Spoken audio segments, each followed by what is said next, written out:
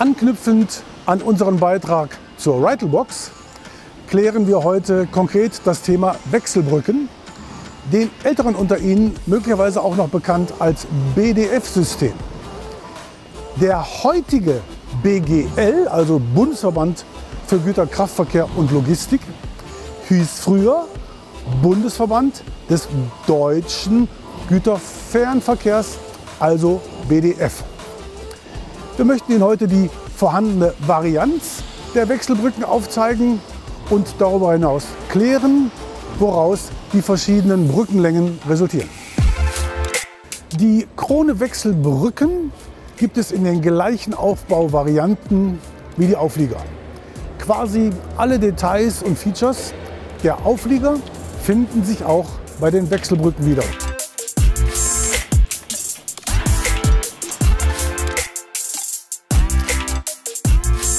So zum Beispiel das Hubdach bei der Wechselpritsche oder eingelassene Zurleisten und Doppelstockschienen bei der Isobox aus unserem Werk Lübten.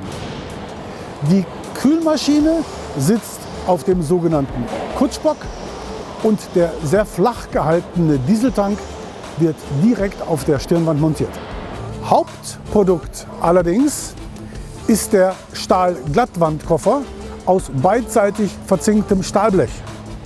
Er hat analog zum Auflieger außen miteinander verklinschte Stahlkassetten und innen das stabilisierende Schlüssellochblech. Die KTL-Anlage im Werk Herzlake ist so großzügig dimensioniert, dass gleichzeitig zwei der fertig geschweißten Boxen zum Top-Korrosionsschutz in das KTL-Bad eingetaucht werden können.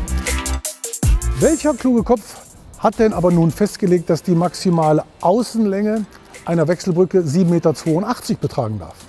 Nun, das ist plausibler als man denkt, denn es handelt sich um ein abgeleitetes Maß, nämlich aus der maximal zulässigen Ladelänge. Diese beträgt beim Auflieger die bekannten 13,60 Meter, erhöht sich aber beim Gliederzug auf 15,65 Meter und 15,65 Meter dividiert durch 2, also aufgeteilt auf Motorwagen und Hänger, ergeben 7,82 Meter. Und jetzt brauchen wir für die Wechselbrücken nur noch die passenden Anhänger. Selbstverständlich auch aus dem Hause Krone. Und die sehen wir uns im nächsten Beitrag an.